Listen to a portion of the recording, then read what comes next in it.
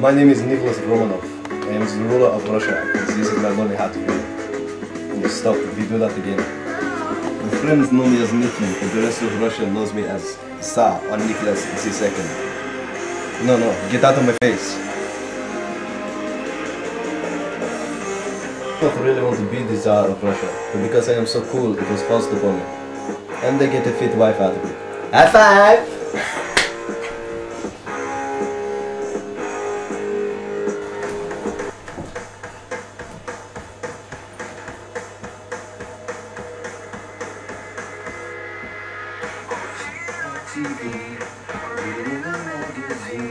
Oh, So, yes, yes.